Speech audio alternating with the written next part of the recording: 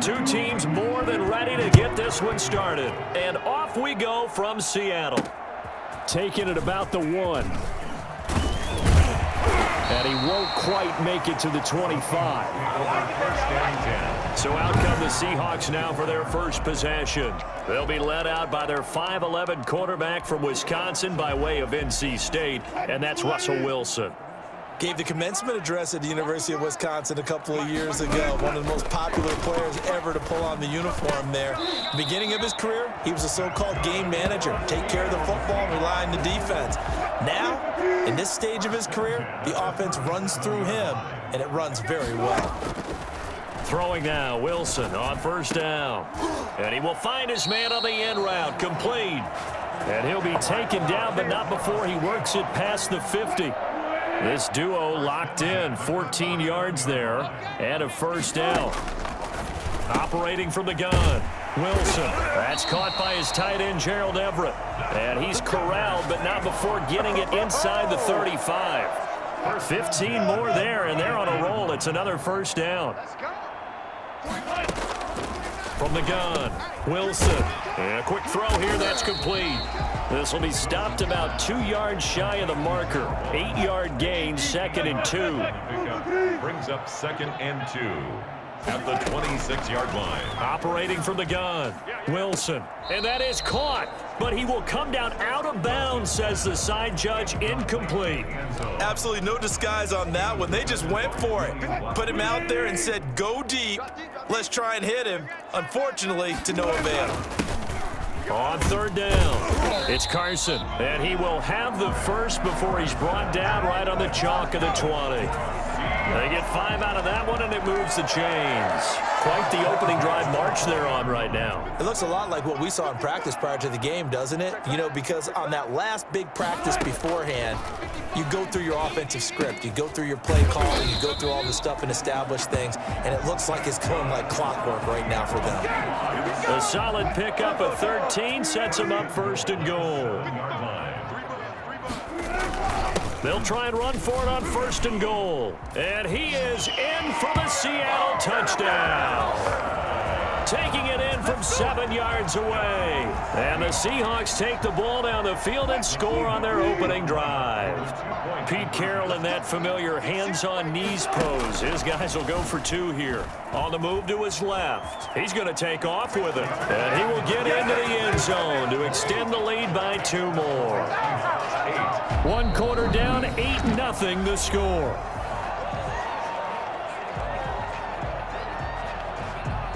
Michael Dickson to kick off for Seattle. The kickoff team on the field now as they will send this one away. Rodgers on the return. And they will wrangle him down a couple yards shy of the 30. So the Colts now coming out for their opening drive. They'll be led out by their 6'5 quarterback out of North Dakota State. It's Carson Wentz. Not only does he look the part, he plays it as well. Tall, prototypical-looking pocket passer with better athletic ability than what people think. Gets outside of the pocket and makes big plays downfield.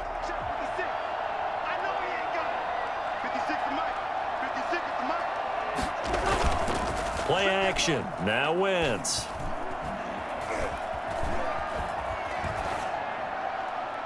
And they didn't wait long to take a shot there, that's for sure, but it falls incomplete.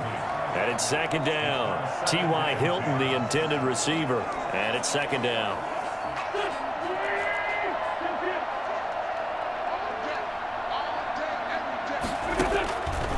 Now Wentz. They'll try and set up the screen to Hines. A pickup of about three yards as he's taken down at the 31. So many things have to come together just right for a screen pass to break for big yardage. The blocking, the timing of the pass to the runner, everything has to fit together just right. But on that play, the defense was able to disrupt things and hold it to a short game. He'll take a shot downfield for Pittman. And it's knocked away and incomplete. The passing game not in sync here early. And now it's fourth down.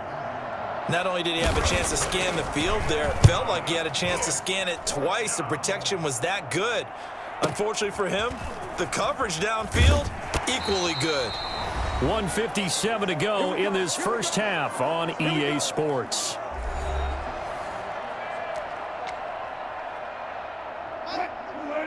Coming up at halftime in a little less than two minutes, we'll send you to Orlando where Jonathan Coachman is standing by. He'll have highlights and analysis of this first half. And he'll take this one only up to about his 13-yard line. DeForest Buckner in on the tackle. Well, any lane that might have been open there was closed pretty quickly, and that was because the defensive front, they won that battle at the point of attack at the line of scrimmage. They used great leverage, held their spot, and stacked him up. That catch good for five. It's third down. Brings up third and three. From the gun, Wilson. And the throw there going to be incomplete. Intended for Tyler Lockett. That's an excellent job right there on third down. Like any defense, you never want to let them get anything started, and that would have been a first down. Instead, you saw the contact on time, no penalty, and before this drive could get wings, it's fourth down. That's to his running back, complete. And he's able to pick up the first before he's taken down at the 27. Give them credit. They knew what they wanted to dial up on fourth. They executed it for nine yards, and the offense stays out there. The fourth down run successful. Now they look to pay it off on first down. Flush to his right.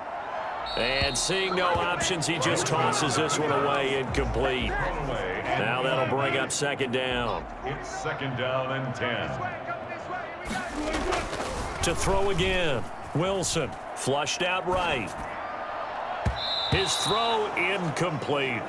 That time trying to find Gerald Everett. And now it's third down. That was an interesting look there because as soon as he got outside the pocket, I thought he was going to take off and run for yardage. But what often happens now with these quarterbacks who can move, defenses want to try and keep bodies in front of them, and I think that discouraged him from taking off and made him try a pass downfield that fell incomplete. And that is incomplete. From the snap, he certainly looked like he knew where he wanted to go with the ball, but surprise, that guy was covered. So that took his attention elsewhere to no avail.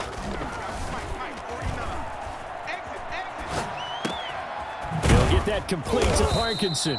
And they worked this well upfield across the 45. Now the Seahawks going to use the first of their timeouts as the clock will stop with 33 seconds to go in the first half. A couple of first downs on the drive already as they'll go from the 47 now on first down. Dancing to his left. He'll run it. And he'll be out of bounds just shy of the 40.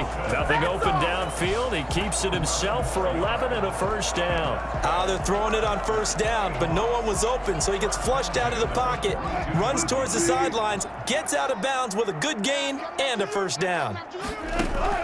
Now Wilson on first and 10. That's complete to DK Metcalf. And they are going to have a first down, and they're in field goal range as well as they're down inside the 20. Now the Seahawks call the second of their three timeouts as they'll stop it with 17 seconds to go in this first half of action. From the red zone now, here's Wilson on first down. To the goal line, but it's incomplete. Brings up After the incomplete pass, here now is second and 10. Throwing again. Wilson. And this time he's got the hook up. It's complete. Now here's a timeout as they're going to get it with eight seconds remaining here in the first half. first and goal at the six-yard line.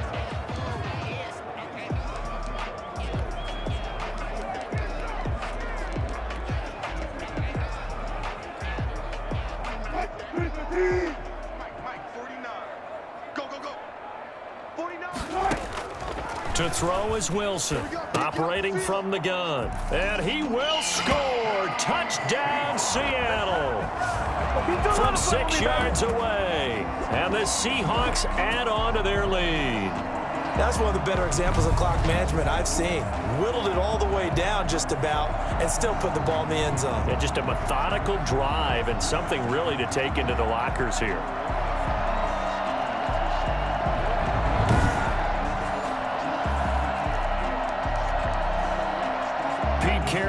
Familiar hands-on knees pose. His guys will go for two here. Final play of the half. It's Wilson. Looking in zone, but it's incomplete. Well, split the difference, and they're right where they would have been with two PATs. They got the two-point conversion the first time. They failed there. Interesting, isn't it? Because the first time you go after your first score, that feels like a gamble. The second time when they tried it again, that felt like, what the heck, right? Because, as you said, even if you miss it, you split the difference, and you're right on schedule at 14 points. And he takes it the distance. No time remaining. No cloth on the field. Yeah, no flags, and it's a kickoff return to end the first half. The way this one was going, you just got the sense they needed something before half. They've at least got something on the board now. Still trailing, but a good something. You want the third quarter already? No problem. Let's do it. Michael Dickson to kick off for Seattle. The Colts getting the football first, and they trail here as we are back underway in quarter number three. And a nice return sets them up pretty good here right at the 30-yard line. At their own 30-yard line. Second drive coming up here for the Indianapolis Colts. These guys had to punt last time. It has not been a very fruitful game offensively thus far. They haven't even made a trip to the red zone. And I know that everyone's going crazy on that sideline because that drives you berserk to come off the field, not really move the ball well. As you said, not even get to the red zone, let alone, you know, not even put points on the board. They've got to just take a deep breath, relax, try and figure out what is working, and call more of that. Second and a yard at the 39-yard line. And he is met at the line of scrimmage, and he goes down right there. Not enough there for a first. No gain, as a matter of fact. And it leaves them at third and one. Third down. They run again with Hines. Boy, no chance as he was met and dropped behind the line there. They end up getting stumped twice after that nine-yard gain back on first down. This defense is just flat getting after it. They have not given up much of anything in the run game. Case in point right there.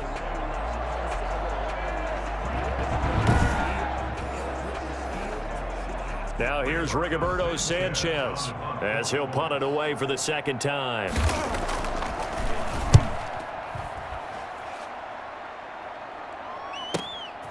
This is fielded at the seven. A pretty good punt there, but also a nice return of 12 yards. And that will come the offense as they take over. Now we'll see what this Seahawks offense has in store with their first possession of the second half. They were able to get the ball back here, didn't surrender any points. Now they'll look to add to that lead. how about the boost the defense gave them? Going right out on the field, shutting them down, not giving up any points, and turning the ball back over. They want to do their part now and show them a little respect and some gratitude by scoring some points. And to get a little more cushion. Third quarter of a tight football game as we come up on a second and 10 forced out to his left. They'll find Everett there, complete. And he's brought down after a very nice gain. That's a gain of 31 with right around one minute to go in the quarter. I guess that answers the question of whether or not they're going to try to play conservative and protect this lead in the third quarter. And I think this is something we're seeing more and more of in the NFL. Teams not playing to protect leads, teams playing to extend them. Now he'll let this one go deep right sideline. And incomplete as he was knocked as he threw it. And it took the ball off course. We sit in quarter number three out in Seattle. A second and ten now. And on the left sideline, he caught it, but out of bounds, according to the head linesman. Incomplete, so the ball a little late getting there, and it's third down. So back-to-back -back incompletions, and that has him staring at a third and ten. From midfield now, here's Wilson. And he's got his man in stride, complete. And he can only manage to get this to the 45-yard line, well short of the first. One of the money routes for any offense, the drag route so tough to defend because the receiver can stop at any point and make himself available to the quarterback and get a completion. But I love the communication we saw there. All the defenders pointing out the receiver, where he was going, and then they're able to rally to the ball after the catch and stop him short of a first down.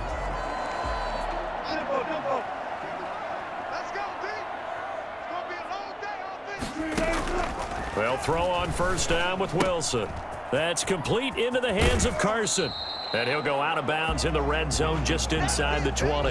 It's a gain of six on the play, and that'll make it second down. Another nice pickup through the air, and I think a lot of people might expect him to run the ball in this situation, Brandon, but with this lead, they're electing to throw the football. Swings, slants, quick outs, things that they consider safe.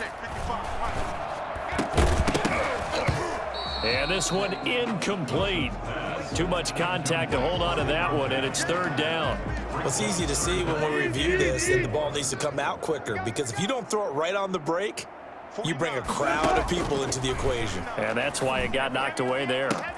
And he's going to look that one in one-handed. What a catch for the touchdown.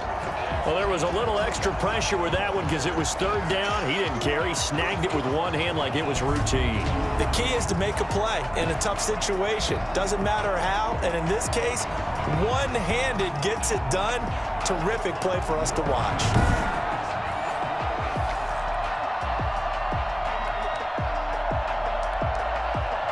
So now a two-point conversion attempt coming for Wilson and the Seahawks. Throwing again here. Wilson being chased out left. And he is into the end zone to bump the lead up two more. And that was the old QB one-man band play there on the conversion. And look, let's face it, even quarterbacks who don't have great mobility, in certain situations, they're able to actually take the ball in themselves. Remember way back when Joe Namath against the I Giants in the Yale Namath. Bowl, right? Remember Joe had all those knee operations. They thought he couldn't run it. No one accounted for him. He practically walked into the end zone. The kickoff for Seattle. Set now to kick this one away, and off it goes. Rodgers on the return. And able to take it past the 25 and up to the 28-yard line. Take over first and 10 at their own 28-yard line. Here comes the Indianapolis offense now as they get set to take over. And this is their third drive. Maybe the focus right now not so much on points, but getting their first first down. And when you start off a game, you don't even think that's an issue, do you? But you go a drive, a second drive, no first down, that becomes an issue. Now you got to think about, okay, what type of play calling do I have to do to get us in a spot to pick that first one up? Once again here on second and 10. And once more for Hilton, and this time complete. And to the 36-yard line, taken down there after getting eight yards. And now, defensively, they're going to burn their first time out. Remember, they get an extra time built in coming up here shortly at the two-minute warning. Wentz looking to throw on third and two. And that will be incomplete. Intended for Michael Pittman. Incomplete. It's been clear in this matchup which side has been the more physical one. It's been this defense. And here's another example on that last play.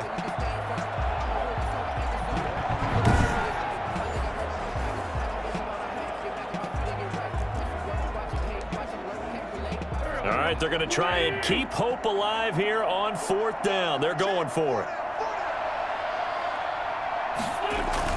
Trying to punch it in with Taylor. And nowhere to go. He's going to be stopped behind the line. He needed a couple, but he didn't even get back to the line of scrimmage. And the Seahawks, they'll get the football back in outstanding field position. The Seattle now ready to march onto the field. A real chance for them to salt this game away after that turnover on downs, holding a two-score lead in the fourth quarter. From the 34 now, here's first and 10. Operating from the gun, Wilson. That's complete to Dissly, the tight end. A gain of six there on first. Nice rhythm throw there on first down. He located his tight end, made it a nice easy pitch and catch. Hoping he can break a tackle or two. Wasn't able to do that there, but still good yardage. So it's Seahawk football as we march toward a conclusion. And the scoreboard on their side, they're just looking to melt away these final couple of minutes and put this one in the left-hand column. And now he's going to use his legs. And he is out of bounds, but first he gets it inside the 10 to the 7. The rushing numbers for Wilson, maybe down from earlier in his career, but he's still a threat to go, showing it there, picking up the first down. Now, that was a whole lot of open space out in front of him, wasn't it? I'm telling you, Brandon, when things are going right, they are going right. And everything has been going their way for the most part. I saw that lane start to develop. Boom. He took advantage of it. A good chance now to put this game on ice. This is first and goal. Wilson wants to throw it. The quick slant caught. And he is in for the Seattle touchdown. A seven-yard touchdown grab. And the Seahawks capitalize on the short field as they take it in for six. They were still throwing with a comfortable lead here that lead even more comfortable. And your first thought is, is there bad blood that went into this one ahead of time, that maybe they're seeking some revenge or they just don't like them? But the other thing that always hits me is, are they worried about playoff positioning? Right? Are they worried about do you need enough points in case there's a tiebreaker that comes into play later? And he'll get into the end zone as the two-point conversion is successful. So the signal caller doing it himself there on the two-point try. You got to like that. We always talk about the ball staying in the hands of the best players, but most of the time you want to get it to a back, pitch it to a wide receiver. In this case, the quarterback did it himself. Out is the kickoff unit as they run up and send this one away. Rodgers on the return. And he'll be tackled just shy of the 25. Rodgers on the return. The Colts take over first and 10 at their own 24 And now Indianapolis set to take the field. They've lost this one. Their offense has struggled. Do they try to put together something here at the end just to take into next week? Yeah, sometimes teams want to do that and coaches want to. I remember one time I was on a team and we were losing late in the game like this, and you knew it was lost. It was over, right? And the coach called a running play and pretty much said to everyone, I want to see something executed well before we get out of here.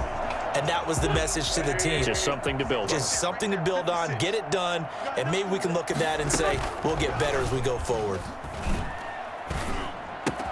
Now this is Hilton on the receiving end. And they work this well upfield across the 45. A pickup of 24. And that's where the play began, the 24-yard line. Offense for them has been at a premium. You wonder where plays like that have been all game long. They're thinking the exact same thing themselves, but they're also looking forward now because now these plays are really for next week, trying to get some momentum going. To throw again on second down. Wentz Just keeping the play alive. And he's out of bounds as he gets this down to the 45. He'll wind up getting four there on his own, but it will leave him now with a third down situation.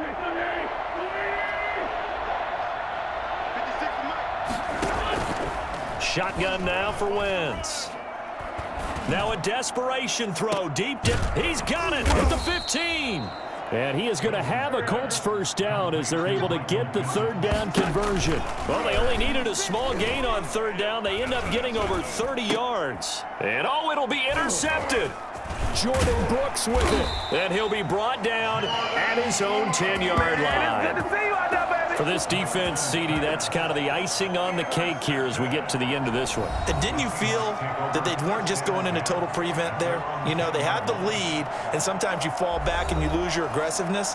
Not in this case. They were still making a play on the football, and look how that one turned out. They may have salted this one away.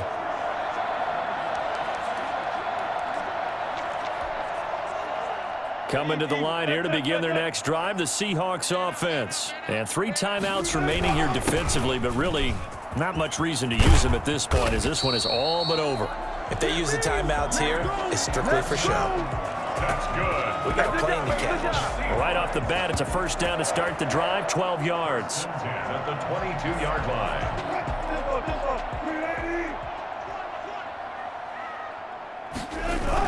Here's Carson. He'll get a nice chunk there on the first down run, and it's second and four. So the victory here for Seattle. And it was their defense that really made the statement after the break. They pitched the second half shutout. Yeah, think about the team that just got vanquished. They did score in the second quarter. Do you think they thought at all that that would be their last points of the game? No, I, but what a second half. The adjustment, whatever they did in the locker room, it certainly worked. It certainly did, and you're exactly right. Whether it was an adjustment, whether it was just more focus on what they planned to do going in, whether they just played better, whatever it was, it all came together in the second half, and no points were allowed. That's a great way to close them out. So that'll do it for us. For Charles Davis and all our crew, I'm Brandon Gaudin. You've been watching the NFL on EA Sports. It's a win for the Seahawks here as we say so long from Seattle.